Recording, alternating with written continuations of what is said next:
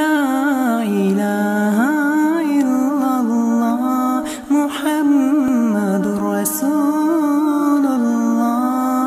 لا إله إلا الله.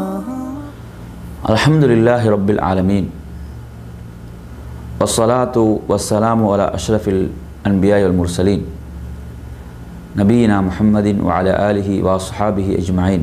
أما بعد මහිතවත් සහෝදර සහෝදරනි මුලින්ම ඔබ සියලු දෙනාට අල්ලාහගේ ශාන්තිය හා සාමය උදා වේවා. අස්සලාමු අලයිකුම් වරහමතුල්ලාහි වබරකාතුහු. මුස්ලිම් නොවන බොහෝ සහෝදරුන් මිතුරන් යොමු කරන තවත් ප්‍රශ්නයක් තමයි මුස්ලිම් වරුන් රූප වන්දනා නොකරන්නේ ඇයි? ප්‍රතිමා පිළිම වලට වන්දනා නොකරන්නේ ඇයි කියන ප්‍රශ්නය. ඉස්ලාම් දහමෙහි මූලික ප්‍රතිපත්තිය තමයි ලා ඉලාහ ඉල්ලල්ලාහ් නැමදීමට යාඥා කරන ලැබීමට සුදුස්සා අල්ලාහ් හැර වෙන කිසිදු දෙවි කෙනෙකු නොමැති බව. අල්ලාහට පමණයි සියලු යාඥාවන් වන්දනාමාන කළ යුත්තේ. අල්ලාහට යමක් ආදේශ කිරීම ඔහුට හවුල් කරවන ඇති කිරීම ඔහුට යමක් සමාන කිරීම ඉස්ලාම් දකින්නේ මහත් බලවත් පාපයක් වශයෙන්ුයි. ඉතින් අන්න ඒ නිසා ඉස්ලාම් දහම තුළ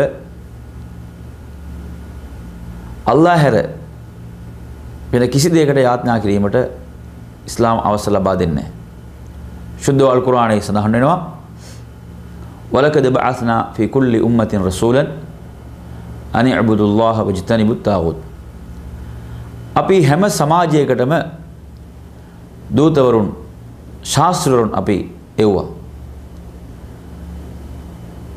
ඔවුන්ට අපි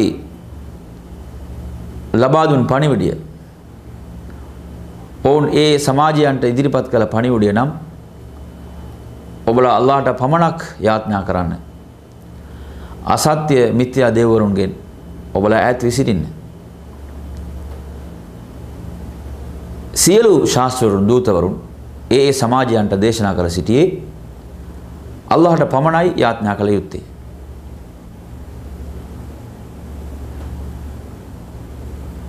ඉස්ලාම් පැහැදිලිව සඳහන් කරනවා වකදා රබ්බුක අල්ලා තඅබුදු ඉල්ලා ඊයා ඔබලාගේ හිමියාණන් ඔහු තීරණය කළා අල්ලාහ හැර වෙන කිසි දෙයකට ඔබලා යාඥා නොකළ යුතුයි.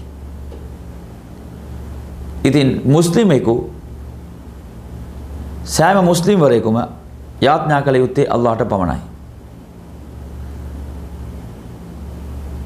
ඔහුට රූපයක් හෝ ප්‍රතිමාවක් හෝ පිළිමයක් හෝ ගැනීම ඉස්ලාම් සම්පූර්ණයෙන් තහනම් කරනවා. ශුද්ධ වූ අල් කුර්ආනයේ අල්ලාහ් සඳහන් කරන විට ලේයිස කමිස්ලිහි ෂයිඋන්. ඔහුට සමානව කිසිවක් නොමැති බව ඔහු පවසා සිටිනවා. ඔහුට කිසිවක් සමාන කරන්න බෑ. සූරතුල් ඉඛ්ලාස් නම් පරිච්ඡේදයේ අවසාන පාඩය වශයෙන් සඳහන් වෙනවා වලම් යකුල් ලහු කුෆුවන් අහත්. ඔහුට සමානව කිසිවෙකු නැහැ.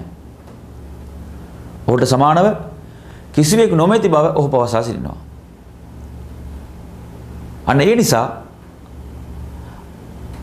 අපි යමක් ඔහුට ගැනීම කියන එක රූපයක් වෙන්න පුළුවන් ප්‍රතිමා පිළිමයක් වෙන්න පුළුවන් ඒ සියල්ල මේ ලෝකේ ඔහුගේ නිර්මාණයන් මැවීම් තුලින් තමයි ගන්නට හැකිවන්නේ. නමුත් මේ මහත් පාපයක් නිර්මාතෘවරයාට ඔහුගේ යම්කිසි නිර්මාණයක් ආදේශ කිරීම සමාන කිරීම කියන එක මහත් බලවත් පාපයක්. අන්න ඒ නිසායි මුස්ලිම් වරුන් රූප වන්දනාවන් නොකරන්න. ඒ ඉස්ලාම් සම්පූර්ණයෙන් තහනම් කරනවා. අල්ලාහට පමණයි සියලු යාඥාවන් වන්දනාවන කිරීමට අවසරය තිබෙන්නේ. ඒ වගේම තවත් සමහර පිරිස් ඉදිරිපත් කරන තර්කයක් තමයි අපගේ හිත යම්කිසි ඒකාග්‍රතාවයකින් පවත්වා ගැනීම සඳහා තමයි අපි රූපයන්ට යාඥා කරන්න කියලා. මෙයත් පිළිගත හැකි තර්කයක් නොවේ. මුස්ලිම් වරුන් කරන සලාතේ වෙත ඔබලාගේ අවධානය යොමු කරන්න පුළුවන්. ඔවුන් සලාතේ ඊටා බිය බැතිව ඉටු කරනවා. අල්ලාහ් වෙනුවෙන් ඉටු කරන සලාතේ ඊටා බිය බැතිව ඉටු කරන යාඥාවක්. කිසිදු රූපයක් හෝ ප්‍රතිමාවක් හෝ පිළිමයක් හෝ ඉදිරියේ නැහැ. මේ දවසට පස්වතාවක් ඉටු කරන යාඥාවක්. මේ තුලින් ඔප්පු වෙනවා රූපයන් ප්‍රතිමාවන් පිළිමයන් අවශ්‍ය නැහැ. අපගේ මනස සිත ඒකාග්‍රතාවයකින් පත් කර ගැනීමට, පවත්වා ගැනීමට. අනේ නිසා සහෝදර සහෝදරියනි ඉස්ලාම් රූප වලට හෝ පිළිම වලට හෝ ගස් ගල් වලට හෝ මිනිසුන්ට හෝ මලවුන්ට හෝ යාඥා කිරීම සම්පූර්ණයෙන් තහනම් කරනවා. යාඥා කිරීමට එකම සුදුස්සා මේ මුළු මහත් විශ්වයේම නිර්මාතෘවරයා මැවුම් කරුවා. ඔහු අල් කුර්ආනය තුලින් පැහැදිලි කරන කාරණාවක් තමයි ඔබලා යමකට යාඥා කරනවා නම් එයට පැවතිය යුතු මූලික සුදුසුකම ඔහු නිර්මාතෘවරයා විය යුතුයි. ඔහු මැවුම් කරුවා විය යුතුයි. සියලු යාඥාවන් වන්දනාමාන යොමු කළ යුත්තේ නිර්මාතෘවරයාට මැවුම් කරුවාට පමණයි. ඉතින් අන්න ඒ නිසා සහෝදර සහෝදරියනි ඉස්ලාම් දහම රූප වන්දනාව පිළිම වන්දනාව සම්පූර්ණයෙන් ප්‍රතික්ෂේප කරනවා. ඒ හිමියාණන් අල්ලාහට යම්කිසි රූපයක් හෝ ප්‍රතිමාවක් පිළිමයක් ගැනීමත් සම්පූර්ණයෙන් තහනම් කරනවා. ඔහුට සමානව මේ ලෝකේ කිසිවක් නැහැ. ඔහුගේ ශක්තිය බලය අද්විතීයයි. ඔහුගේ ශක්තිය සියල්ල කෙරෙහි පවතිනවා. ඉතින් ඒ හිමියාණන්ට ඔහුගේ නිර්මාණයන් මැවීම අතුරින් යමක් ආදේශ කිරීම සමාන කිරීම කියන එක ඔහුගේ ගෞරවයට කරන ලොකු ඔහුගේ ගරුත්වයට කරන ලොකු නිගාවක්. අනේ නිසා තමයි ඉස්ලාම් එය තහනම් කරන්නේ.